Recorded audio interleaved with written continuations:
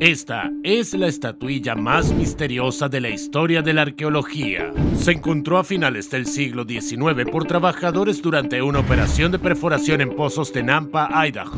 Bajo la capa de basalto a una profundidad de 100 metros vieron una figurita de mujer en miniatura.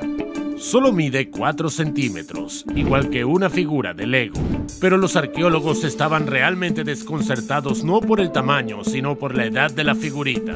Según la datación geológica de esta capa de arcilla, debe tener 2 millones de años. Pero los ancestros de los humanos modernos vivieron en África, no en Idaho. ¿Cómo es esto posible? Esta estatuilla es solo una parte de un gran rompecabezas sobre nuestro pasado un bosque del mundo perdido, rocas de ballenas gigantes, cuencos con huesos humanos y un camino a la Atlántida. Todos estos increíbles descubrimientos desconcertaron a los arqueólogos y dieron lugar a las más apasionantes teorías sobre la verdadera historia de la Tierra. Y si la misteriosa estatuilla de Nampa fue esculpida por algún pueblo antiguo que apareció aparte de los primeros habitantes de África, esa teoría está respaldada por este impresionante descubrimiento en el sur de China. En mayo de 2022, una expedición científica descubrió un socavón con una superficie de 6 campos de fútbol, es decir, 306 metros de largo y 150 metros de ancho. La profundidad de este enorme abismo es de 192 metros. Se podría esconder la nave espacial SpaceX en él y todavía habría espacio para el cohete Falcon Heavy. Y al mismo tiempo, hay suficiente luz que entre en el fondo del embudo para crear todo un ecosistema aislado en este abismo. Los árboles más grandes aquí alcanzan los 40 metros de altura. Es como si Dios hubiera montado en secreto un pequeño jardín para hacer experimentos botánicos.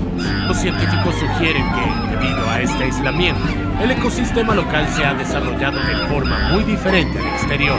Así, los biólogos esperan encontrar aquí algunas especies de flora y fauna nuevas y absolutamente únicas. Los investigadores están especialmente interesados en tres cuevas aún inexploradas en el fondo del embudo.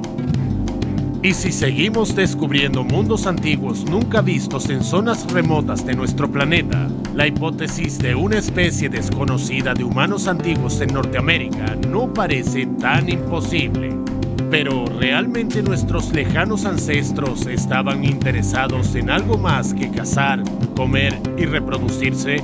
¿Estaban sus cerebros lo suficientemente desarrollados como para que se les ocurriera moldear a su vecino de cueva con arcilla? Es posible que hayamos encontrado pruebas de artefactos mucho más sorprendentes creados por las manos de personas muy antiguas.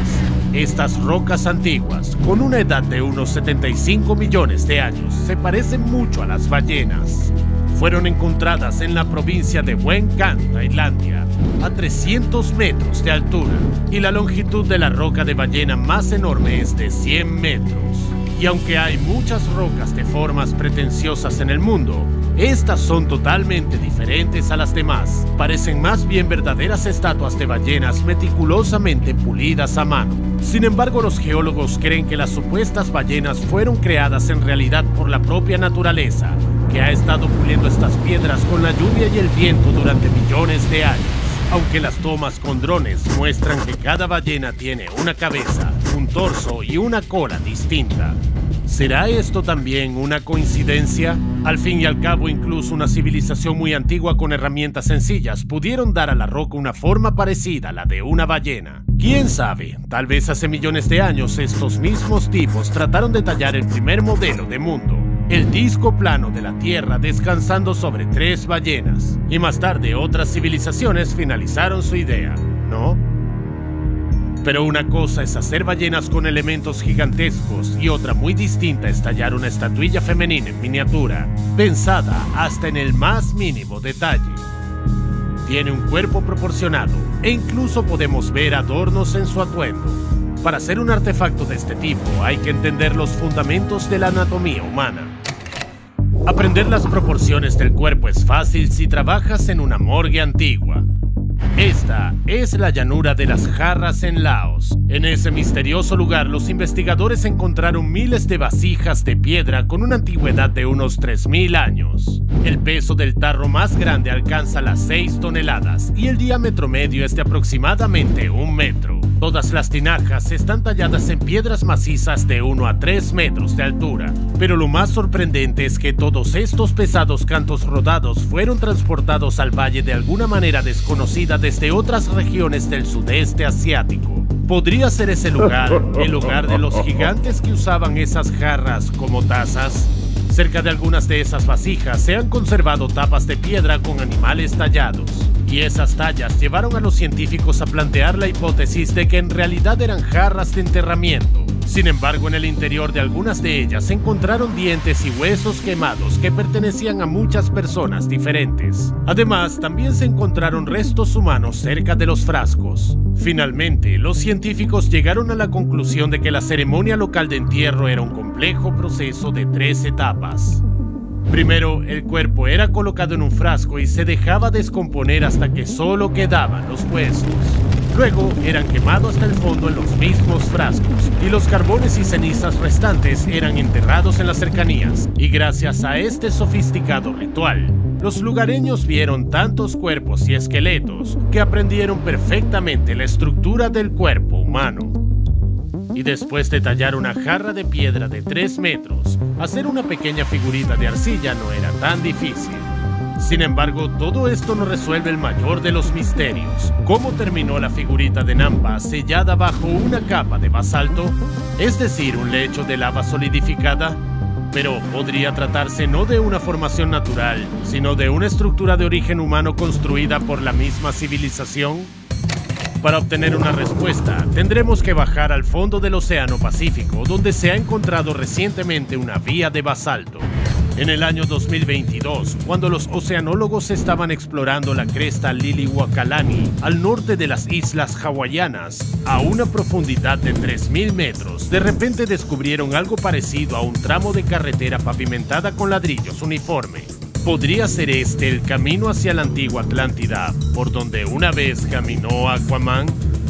Los vulcanólogos tienen una opinión diferente.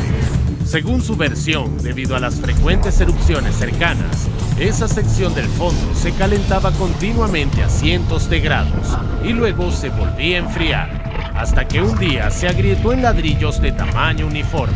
Pero, quien quiera que haya hecho tales estructuras de basalto, la naturaleza o los antiguos, la estatuilla de arcilla de Nampa se derretiría sin duda bajo la influencia de tales temperaturas. Así que, según los escépticos, la misteriosa estatuilla puede ser un trozo de arcilla ordinario que nos pareció demasiado humano, al igual que fotos de Jesús en una tostada o una sensacional puerta en Marte. Después de todo resultó ser una simple hendidura en la roca fotografiada por el rover desde un ángulo bien elegido. Entonces, ¿hay alguna posibilidad de que la estatuilla de Nampa sea un artefacto auténtico? A veces, incluso las cosas aparentemente aleatorias, al examinarlas de cerca, pueden esconder una historia increíble. Estos fragmentos de pergaminos de la Universidad de Cambridge se consideraban talismanes de las mujeres medievales durante el parto pero recientemente los científicos han realizado un análisis biomolecular y han encontrado restos de líquido amniótico en el pergamino, lo que quiere decir que este era el cinturón que se colocaban las mujeres durante el trabajo de parto. Tal vez la figurita de Nampa está hecha a mano después de todo. Podría ser un juguete real, salvo que no perteneció a los antiguos, sino a los nativos americanos que lo arrojaron al pozo para gastar una broma a los trabajadores. ¿Qué versión de las teorías te hace más ilusión?